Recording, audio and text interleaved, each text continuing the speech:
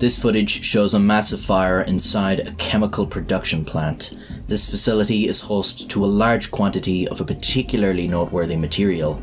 What you are about to see is what happens when an uncontrolled fire finds its way into containers of rocket fuel chemicals.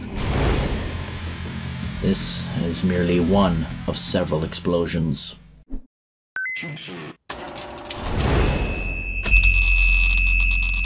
Ammonium perchlorate is an oxidizer used in solid propellant rocket boosters. It is unstable and highly flammable. In 1988, there were just two producers of ammonium perchlorate in the United States. Pacific Engineering and Production Company of Nevada, or PEPCON, with a plant in Henderson, Nevada, and Kerr-McGee, located just one and a half miles away. At this time, ammonium perchlorate was being used for rockets and submarine launched ballistic missiles and NASA's space shuttle. This is important because in 1988 the space shuttle fleet was grounded, stemming from the 1986 Challenger disaster. This led to PEPCON storing a large amount of excess ammonium perchlorate on behalf of the US government at their plant. The government had contracted the production of the material and owned it, but with the space shuttle fleet grounded, they arranged for PEPCON to hold onto it for them. As such, there was an estimated 4,500 tons of the product stored at the facility. On May 4, 1988, a fire broke out in the PEPCON plant. What exactly caused this fire is debated. The United States Fire Administration stated it likely began during repair work to a fiberglass structure in the plant. Workers were welding a steel frame when the fiberglass caught fire and the flames quickly spread. The US Department of Labor and the Division of Occupational Safety and Health discounted this theory as unlikely, saying the exact cause was unknown. Regardless of what caused it, workers in the plant were now faced with a fire. They attempted to put out the fire, but it quickly spread across fiberglass paneling. Very rapidly, the workers were in the midst of a fire that was beyond their control. The plant had to be evacuated. At the time, PEPCON employed about 130 people, but only about 80 were present for this incident. As workers are running from the plant to their cars and driving away from the area, PEPCON's controller, Roy Westerfield, is faced with a conundrum. He is in an emergent disaster. Putting the safety of others above that of his own, he elects to stay behind while everyone else runs out. He calls the Clark County Fire Department. Suddenly, there is an explosion. It is only a small detonation, but it will not be the last. Plant manager Bruce Halker is ushering workers out of the building and to their cars. With so much ammonium perchlorate being stored in the facility, it is not enough to simply leave the building. Everyone needs to get as far away as possible as quickly as possible. A broadcast engineer servicing a transmitter on a mountain about two miles away starts to film and captures some of the subsequent explosions, the sound taking about 10 seconds to reach him.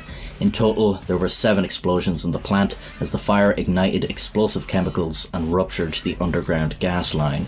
The largest of these explosions registered a 3.5 on the Richter scale and was equivalent to a quarter kiloton of TNT, about the same yield as a tactical nuclear weapon. It is one of the largest domestic non nuclear explosions in recorded history.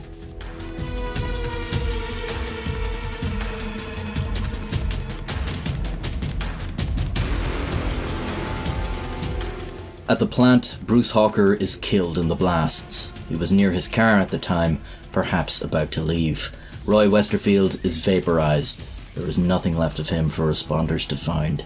The explosions are still occurring as firefighters are making their way to the PEPCON plant. The shockwaves blow out their windows, showering them in broken glass. Escaping workers fleeing in the opposite direction warn them there could be follow up explosions. The injured firefighters make no attempts to approach the fire. There is nothing they can do. A five mile radius around the plant is evacuated.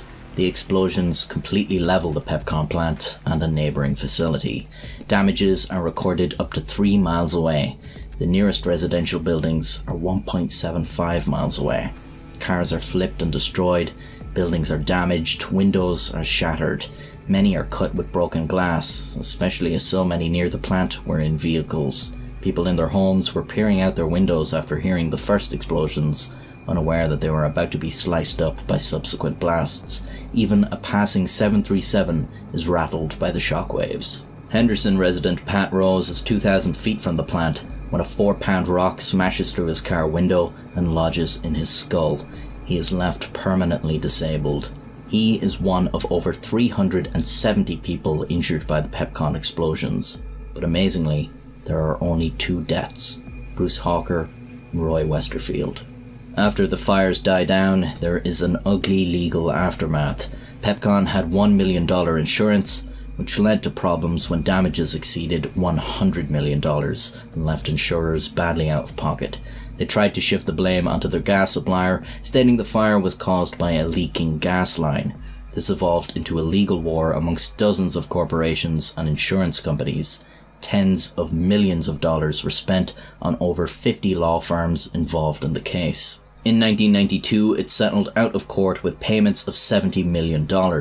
Insurance companies received a further $3.8 million from the county after evidence came to light of some questionably lax regulation and inspections.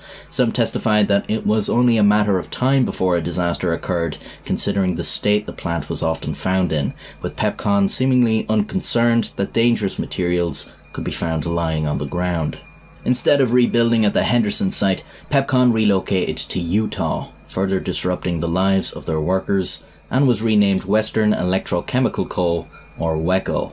In 1997, there was an explosion at the WECO plant that killed one and injured four. And so ends the tale of the Pepcon disaster.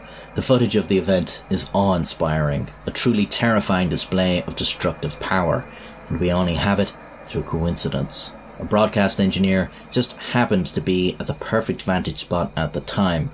Without this coincidence, this footage, would probably be very hard to comprehend the scale of this event.